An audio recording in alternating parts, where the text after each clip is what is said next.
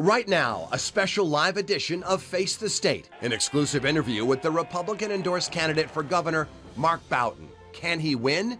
We will talk with Kevin Rennie of the Hartford Courant and Colin McEnroe of WNPR. Plus, the first Republican convention Channel 3 covered 60 years ago. It's all straight ahead this Sunday morning, Mother's Day, May 13th, 2018.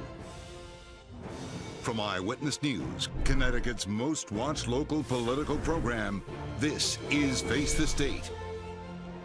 Good morning and thanks for joining us on this Mother's Day. I'm Dennis House. It is the day after, the morning after, the big Republican state convention. And last night, Danbury Mayor Mark Boughton won the party's endorsement to be their nominee for governor. But there will be a primary.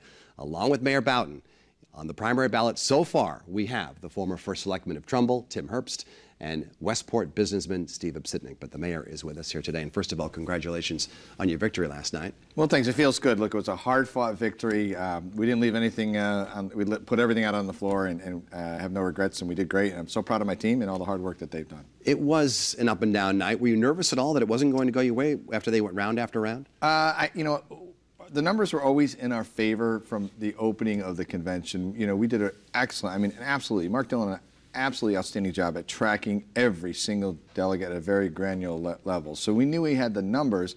It was just the odd question is where those folks go when people start dropping, you know, and, and we had, we thought had made enough outreach to those various camps to be able to get some of those delegates in our fold to get to that 50% level. We knew it wasn't going to be easy. We knew that you know there were so many candidates, so many divergent views, so many uh, folks that uh, are engaged in this process that we'd have to work at it. And we put together a coalition to be able to get the nomination. And um, I'm excited about that. Uh, I think this is a time for the party uh, to uh, coalesce and, and, to begin to move forward. And uh, while I don't, certainly don't object to anybody's right to primary under our, our rules and, and understand that, um, we, if we want to win this seat, have got to work together as Republicans and stop turning uh, uh, our, turning things into a circular firing squad. We have the Republican debate coming up 30 days from today, June 13th, right here at WFSB. Then we have the primary August 14th. Mm -hmm. So far, two other candidates on the primary ballot. Do you expect more to join?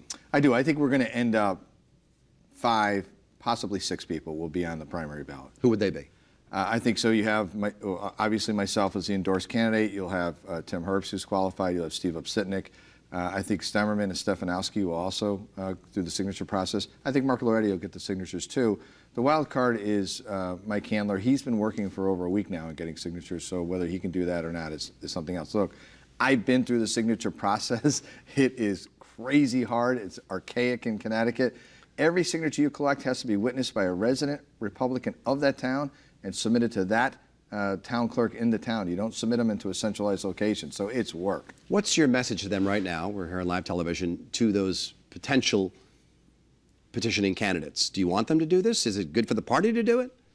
it? It's part of the process. I don't object to the fact that if it's in the rules and if it's in the statute, you certainly can do that. I, I would say, though, we don't do any good by um, trying to destroy each other. And, and that's the only concern that people have with uh, primaries. As this becomes a competition of ideas and vision for Connecticut and how we're going to fix our problems, I think that's a good thing. That highlights and showcases all of our Republican talent. If this turns into who can send out the worst, nastiest flyer on the other one, um, then we're going to devolve into a mudslinging contest. But I'm going to tell you something. Through the entire run up here, for the last 18 months, I have practiced not speaking negatively about other people in this race, and I will continue to do that. Um, I have to be able to wake up in the morning and know that I've treated other people fairly and honestly. And frankly, I've got a new perspective on life as well uh, through some of the challenges I've personally been through. So, I mean, it's not going to come from me. I want to talk about your health a second because you mm. just brought it up. Sure. How is your health, and should voters be concerned that perhaps you might have another episode? No, no. I, I look, I'm strong as a bull. I'll, I'll do push-ups right here on the floor if you want. All whatever right. we got to do. Um, uh, I feel great, um, and uh, we're good to go. I, I, wouldn't be in the race if any one of my doctors uh, of my team of specialists said, hey, you can't do this. I wouldn't be here. I, I, certainly wouldn't put the state through that, and certainly my own personal self wouldn't do that.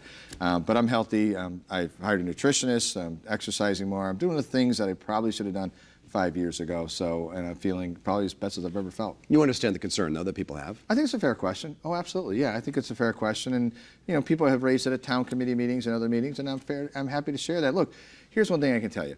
First of all, you know I have a brain. You've seen it up on the screen at our press conference. The most photographed brain uh, in the race. yeah. Unlike other unlike other potential leaders around who may not have a brain, I have one. So um, I can verify that, and folks can certainly ask me any question they want about it. I've opened up my medical records. I have no problem doing that. You said you're not going to say anything negative about the other candidates. Right. Yet you really have to convince people that you're a better candidate than That's Tim right. Herbst and a better candidate Right. than Steve Obsitnik. What is the argument? Well, the argument is is that uh, we have to be able to uh, nominate people that have, have demonstrated ability to win in an urban area.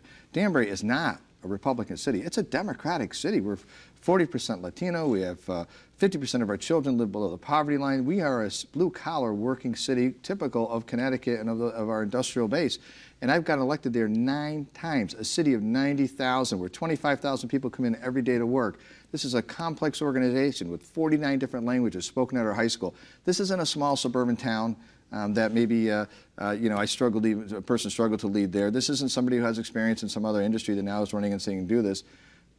I run a complex operation in the public arena, uh, dealing with public policy every day. So the experience I have is invaluable. I fought the battles up and down, good and bad, and I've been proud to uh, achieve great metrics using Republican policies and Republican ideas. You might be faced with, you know, the argument that perhaps they should go with a fresh face, maybe a business outsider like a Charlie Baker in Massachusetts. That might come from David Stemerman or perhaps Steve Obsitnik. What's your response to that?